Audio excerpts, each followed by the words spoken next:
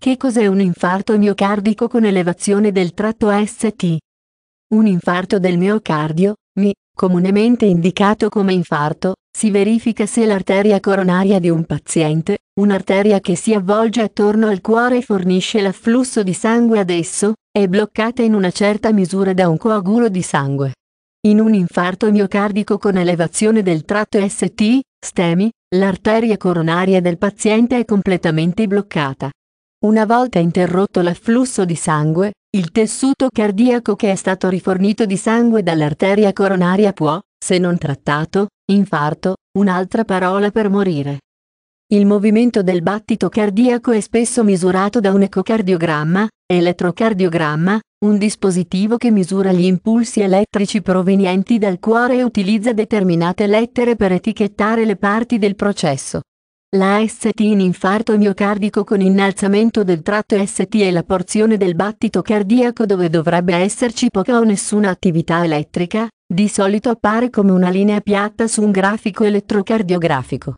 Quando il segmento ST di un paziente è elevato, indica che c'è attività elettrica, e questo a sua volta di solito indica che c'è mancanza di flusso di sangue al cuore. Ci sono due sottocategorie di infarto del miocardio, infarto miocardico con elevazione del tratto ST, STEMI, e infarto miocardico con elevazione non ST, NSTMI. NSTMI è il meno grave dei due, poiché indica solo un blocco parziale dell'arteria coronaria, lo STEMI è un blocco completo. Sia STEMI che NSTMI hanno spesso sintomi simili ma sono trattati in modo leggermente diverso, a seconda del livello di gravità.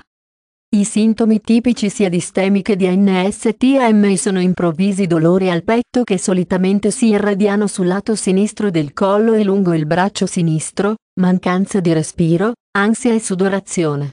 Ci potrebbero essere anche nausea, vomito e palpitazioni. Possono anche non esserci sintomi o ciò che è noto come un mi silenzioso. Questo accade circa il 25% delle volte.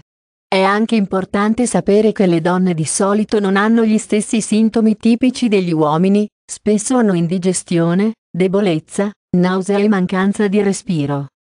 Il trattamento per un infarto miocardico con sopraslivellamento del tratto AST è solitamente associato a farmaci che degradano il coagulo, un processo noto come trombolisi. I farmaci contengono enzimi che interferiscono con le fibre che formano i coaguli, alla fine rompendoli e liberando l'arteria. Se è più grave, viene eseguita una procedura nota come angioplastica.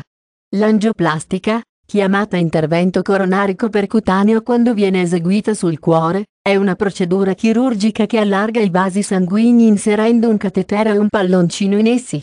Il pallone viene espanso per allargare la nave e rompere i depositi che causano il blocco. NSTMI viene trattato con farmaci per mantenere aperte le arterie. A volte viene eseguita la chirurgia per intervento coronarico percutaneo, in genere quando un paziente arriva per la prima volta in ospedale se il blocco è più grave. Se ci sono molti blocchi e il paziente è abbastanza stabile, può essere eseguito un intervento chirurgico di bypass delle arterie coronariche. Questa procedura può essere eseguita sia per STEMI che per NSTMI.